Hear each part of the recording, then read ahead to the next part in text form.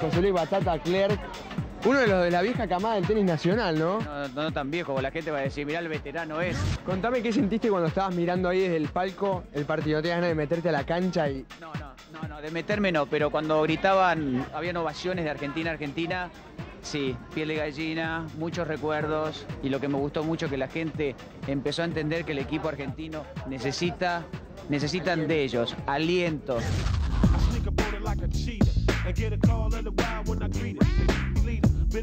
Qué mensaje de Ríos De Ríos es como jugador? un talento único, un talento único, me hace acordar mucho la época de un, de un amigo, de John McEnroe. Y tiene eso lo que necesitan ser los número uno del mundo, fríos en los momentos importantes.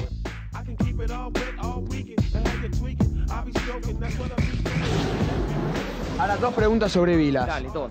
Contame tu amistad con Vilas Bien, bien. y después comparame a Guillermo Vilas con Marcelo Chino Ríos. ¿Por dónde empezamos? Por tu amistad con Vilas que es más importante. Bien, bien. La alta competencia nos llevó a nosotros a pelearnos. Después empezó este circuito y nos peleamos en el primer partido. Ahí nos pusimos este, café de por medio. Él me dijo todo lo que me tenía que decir, yo le comenté todo lo que le tenía que decir. Y bueno, y hoy realmente vivimos momentos lindos, agradables. Con lo que vos me dijiste de Ríos y Vilas, no se puede comparar, Iván. Este es un chico de 21 años que recién llega. Vilas ha ganado 63 torneos, ha, ha ganado no sé cuántos Grand Slams, no sé cuántos Masters. Uno es el número uno del mundo.